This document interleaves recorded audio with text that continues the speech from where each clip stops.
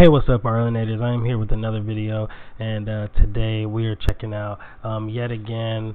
Uh, well, let me go ahead and let you guys know the situation. I I just moved into this college apartment, so that's why I haven't been able to film videos as much. But I want you guys to go ahead and see these videos I'm about to react to. So right now we are reacting to Captain America versus Thanos, um, which was probably one of the tear jerkers for me in the film. A lot of people didn't cry at this moment. They probably waited. Spoiler alert: when Iron Man died, and um, Iron Man did hurt me, but not as much as Caps because Caps. Um, I don't know. It's just something about Cap that it hurt the most because you you he's that guy that would never give up. But in this case, if he didn't have the help that he did, he would have lost. And I think that's um, what was so it, it was so hard to see.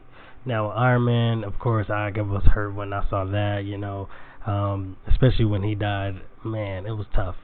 Anyways, let's get into this. Avengers Endgame, Captain America versus Thanos. Let's move all in.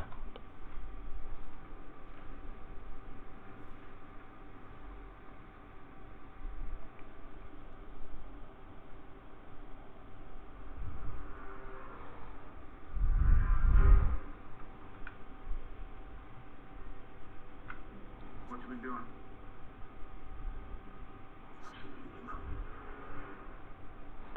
Where's the phone?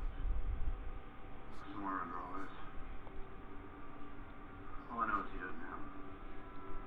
So we keep it that way. It was a trap. Yeah. I don't much care. I like how Iron Man said, I don't much care.